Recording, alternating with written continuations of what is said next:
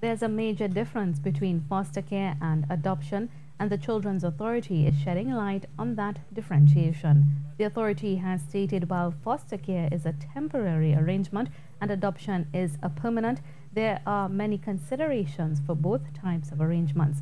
Shirley Lewis reports. Team leader foster care for the Children's Authority and Julie Tuwari says it's important people know the difference between foster care and adoption.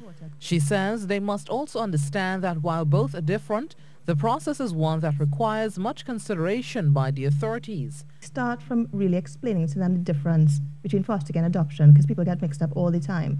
And once we establish that foster care is what they want to do, we go through a thorough process where we do in depth interviews, we do home assessments to make sure the environment of the home is safe, we do interviews of all members of the family, including children and other support mechanisms, um, because raising a child is a very big job. And you According to the authority, families undergo intense screening to determine whether they are capable of taking care of a child.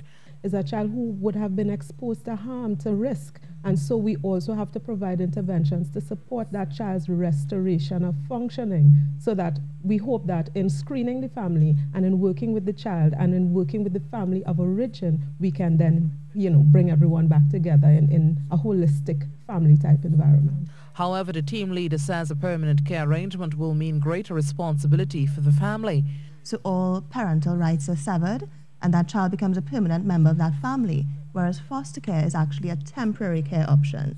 So many children are removed from their families for particular reasons like neglect, they may be um, subject to abuse, or it may be that their parents aren't able to care for them at that point in time, and that's where foster care comes in.